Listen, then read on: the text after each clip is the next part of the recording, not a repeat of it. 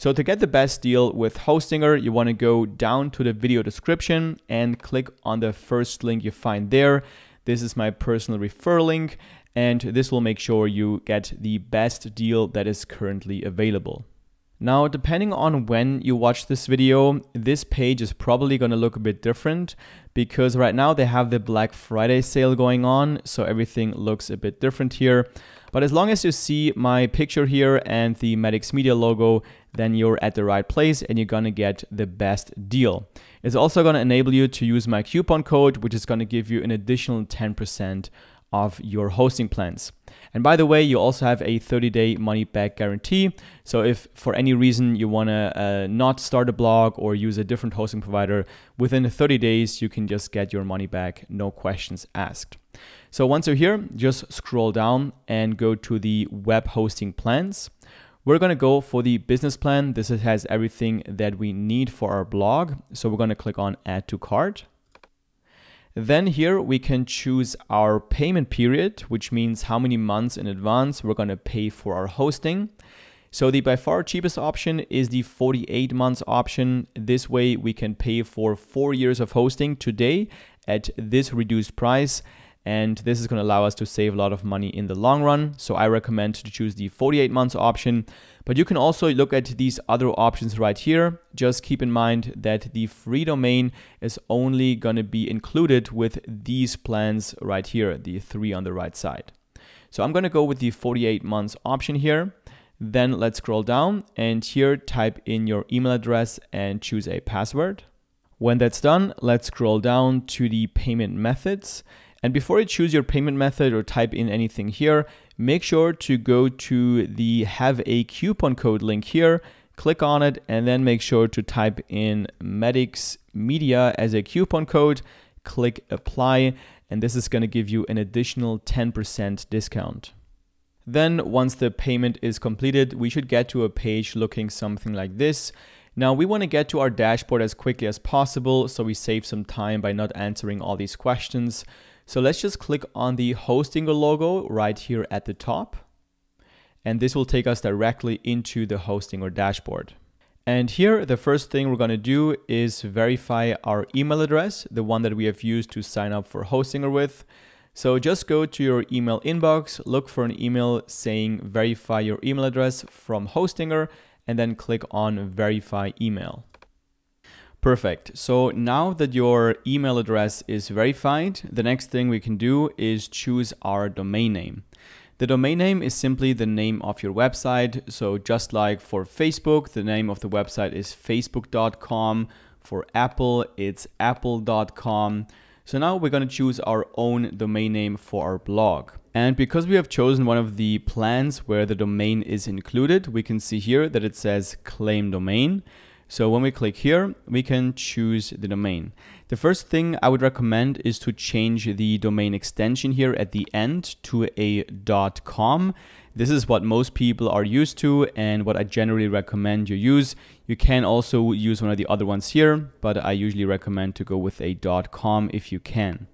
Then here you can just type in the name of your blog. So as I'm creating a travel blog, as an example blog here, I'm just going to type in Metics Travel and see if this is still available. Click uh, check availability. And as we can see here, this domain is still available. So let's click on claim domain. Then to complete the registration of your new domain, you're going to have to fill out some contact details. So just do that now and then move on to the next step. Once that's done, we get to the next page where it says your domain is being secured. So let's click on continue here.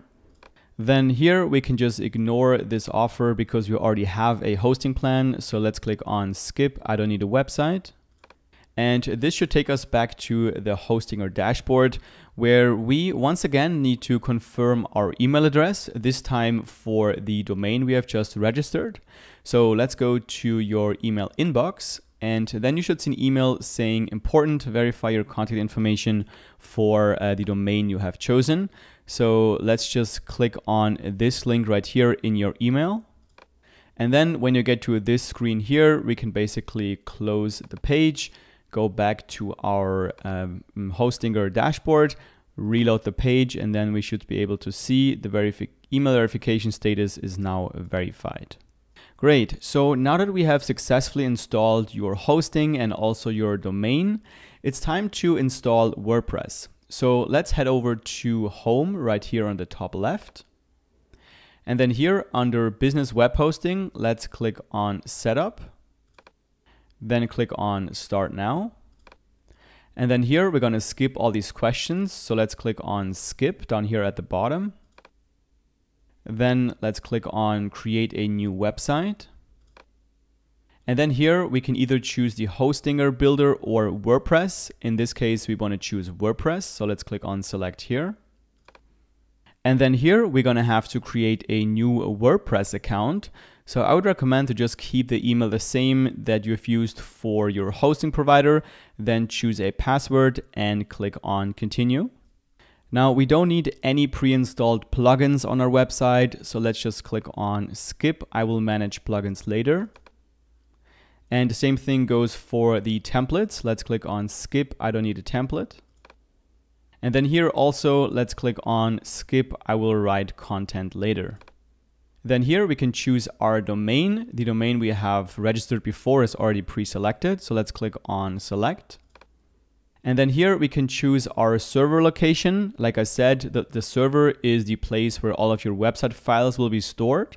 So if you want to change it, you can just click here and then you can choose any of these locations here. Um, I recommend to just keep the server as close to your visitors as possible. So if you have, if you're going to have more readers in Europe, then you want to choose one of these locations in Europe. But if most of them are going to be from the US, then you probably want to choose the North America server. I'm going to leave it as it is here in the US and click on uh, change. And then let's click on finish setup. Then once WordPress has been successfully installed, we can go to our WordPress dashboard by clicking on admin panel right here. And now we are inside of our WordPress dashboard.